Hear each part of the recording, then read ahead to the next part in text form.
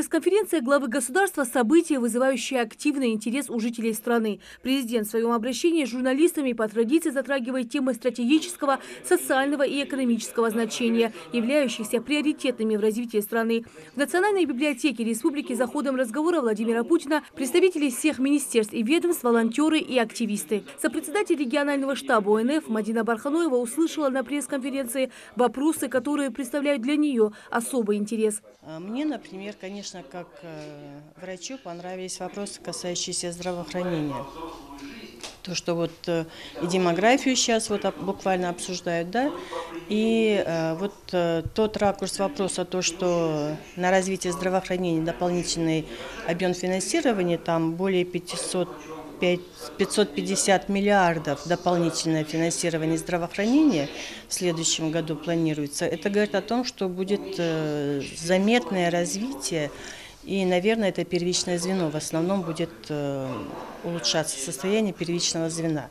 Я думаю, что каждый сегодня, кто сидел здесь, услышал интересующие его ответы и касаемо нашей страны, и касаемо внутренней и внешней политики. Ну, я думаю, что такой живой и интересный диалог был. Несколько вопросов для себя я, конечно же, так взяла на заметку. Скажите, какие? Вопрос по поводу Украины, Луганска. Все-таки а, мир это, по-моему, на сегодняшний день самое главное, что должно интересовать и что интересует нас всех. Образование, здравоохранение, внешняя и внутренняя политика государства. 15-я конференция не обходит острые вопросы, имеющие особое значение для страны и для ее жителей. Историк-архивист Весенгерей Тангеев считает, что президент, отвечая журналистам не только российских, но и зарубежных СМИ, был лаконичен и понятен, учитывая, что многие вопросы носили спорный характер. Это фирменный стиль разговора Владимира Путина.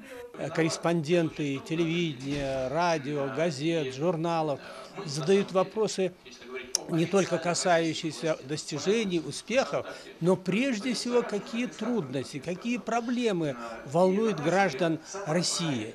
Это и э, вопросы, касающиеся развития экономики нашего государства, вопросы, связанные с политикой, социальной политикой государства, медицины, образования. Это вопросы, касающиеся внешней, внутренней политики, вопросы, связанные с обороноспособностью страны и боевой мощи вооруженных сил. Но мне, как э, человеку, как гражданину нашей республики импонирует то, что глава государства не обходит острые вопросы, не пытается сгладить как-то трудности, проблемы, которые существуют на пути нашего движения вперед. На большой пресс-конференции уже во второй раз прозвучал вопрос о пенсии. Член ревизионной комиссии ОНФ Руслан Халухаев уверен, поддержка пенсионеров гарантирована президентом. Когда задали вопрос о пенсионной реформе, что много э, толков то, что принято или будет еще меняться реформа. Он сказал конкретно, никаких вопросов, связанных с новой реформой, не будут. А то, что имело некоторые вопросы, связанные с накоплением, это, говорит, рабочие моменты Минфина России и всего лишь. Это многих успокоило.